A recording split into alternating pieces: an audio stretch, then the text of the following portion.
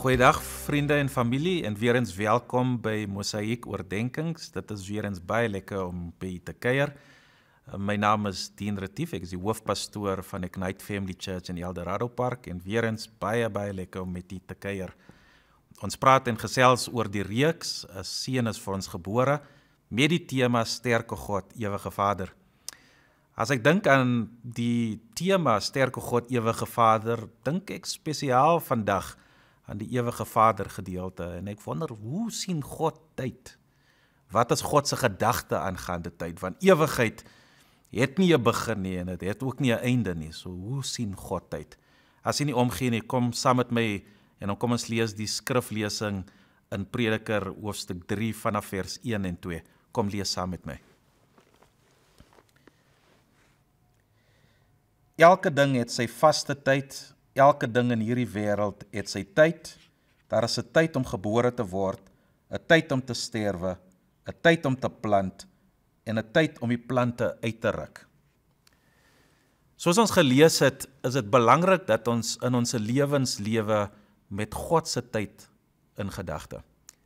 Baie kere wanneer ons lewe, maak ons tyd vir ons se dinge.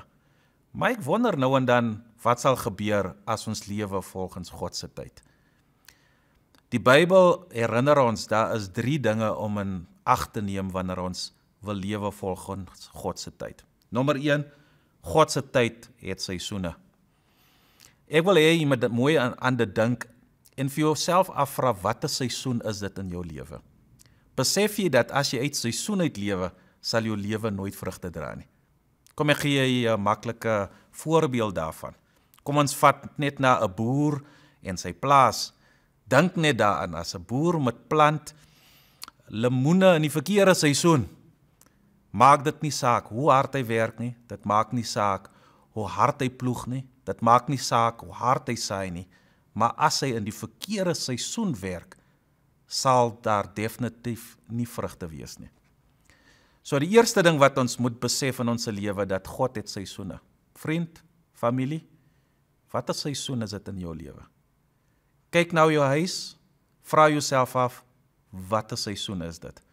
Kyk in jou werksplek, vra jouself af watter seisoen is dit by my werk? Kyk in jou huwelik, watter seisoen is dit in jou huwelik? Kyk in jou gesondheid, vra jouself af watter seisoen is dit in jou gesondheid? Weerens wil ek herinner, as jy buite u seisoen lewe, kan u nie verwag om vrugte te dra nie.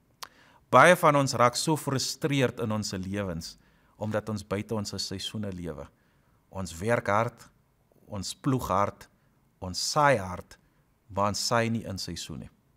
Maar God ons wys in hierdie tyd wat 'n seisoen is dit in ons lewens. Die tweede ding wat God ons leer in hierdie skriflesing, daar's nie net 'n seisoen vir iets nie, daar's ook 'n tyd vir alles.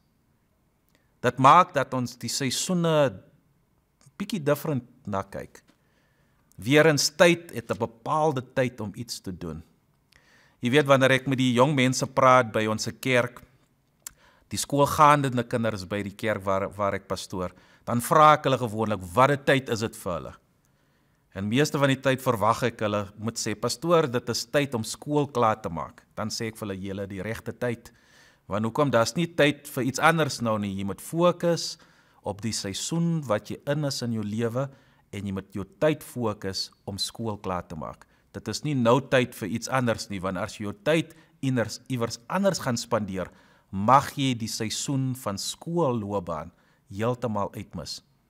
Weereens die vraag in hierdie tyd vir u my vriend is watter tyd is dit in u lewe? Jy weet ek het besef in my eie lewe daar was 'n tyd wat ek my gesondheid nie baie goed was nie. En ek het besef toe wat ek dokter toe gaan en met die dokter 'n afspraak gereël het en my hy my gesê het wat nie goed gaan in my lewe en ek besef dit is tyd om agter myself te kyk. Dit is tyd om te kyk hoe gaan dit met my gesondheid en dit is tyd vir my om te fokus op my gesondheid. Baie van ons gaan ook omtrent ons geestelike lewe. Waar watter tyd is dit? Is dit tyd om vir u om meer tyd met die Here te spandeer? Is dit tyd vir u om in meer gebed met hom te praat? Is dit tyd vir u om meer vir hom te doen? Wat 'n tyd is dit in jou lewe? So God vra eerstens van seisoene. Nommer 2 praat hy van wat 'n tyd is dit. Die derde ding wat uitkom in Prediker wat so belangrik is, is daar is 'n doel vir alles. Weerens my aanmoediging vir almal van ons omdat God 'n ewige Vader is, tyd is in sy hande, die begin en die einde. Ons se begin en ons se einde is in sy hande. Daar is 'n doel vir elke ding in die lewe. So ek wil u vra in hierdie tyd, is u besig om die assignment te doen wat God op u hart geleer het? Baie van ons het seker ons hand aan die ploeg geslaan, begin werk, maar ek wil vir u vra, is jy nog steeds besig met die assignment wat God oor jou lewe geplaas het? Wanneer jy nie jou assignment doen nie, gaan jy jou vrugte kry en jy gaan dit probably misbruik omdat jy dit nie gaan kan gebruik vir die doel waarvoor God jy op aarde geplaas het nie. So daar's drie dinge wat God ons leer: seisoen, tyd en doel. Vers 2 leer ons iets wat ek ontdek het 'n goeie paar jaar terug. Wat sê dat se tyd vir alles, as tyd om te plant en as tyd om uit te ruk. Ek wil u encourage daardie twee dinge gebeur op dieselfde tyd. Weet jy 'n saad kan nie groei nie tot 'n saad nie sterwe nie. So sterfte en lewe gebeur op dieselfde tyd. En ek wil u encourage wanneer jy na ons lewens kyk, vra jouself af waar moet jy afbreek sodat jy kan opbou? Waar moet jy uitruk sodat jy kan nuut plant? Waar moet jy met sekere dinge sterwe in ons lewe sodat dit ons 'n geleentheid gee om nuwe lewe na vore te bring? God is ons ewige Vader. Hy tyd in ons hande, hy tyd in sy hande.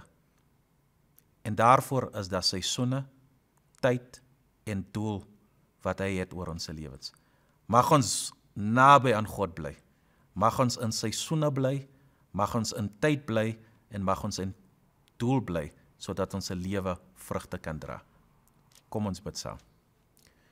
Vader, ons wil vir U dankie sê dat elke ding wat gebeur op aarde het 'n seisoen, het 'n tyd en het 'n doel. Ek bid spesiaal in hierdie tyd dat ons ons lewe sal align met u seisoene vir ons lewens. Dat ons ons lewe in lyn sal bring met die tyd wat u het oor ons lewens. Here dat ons ons lewe sal in lyn bring met die doel waarvoor u ons geskaap het. Here baie van ons in hierdie tyd klaar dat ons se lewens nie vrugte dra nie en u vra ons vandag is dit moontlik dat ons uit seisoen uit is? Is dit moontlik dat ons uit tyd is? en is dit moontlik dat ons uit doel is? Vader, U vra ons ook in hierdie tyd om te kyk wat moet ons afbreek sodat ons kan opbou? Wat moet ons kan uitruk sodat ons kan herplant? Gee ons U genade. Gee ons U wysheid sodat ons in seisoen kan lewe in Jesus naam. Amen.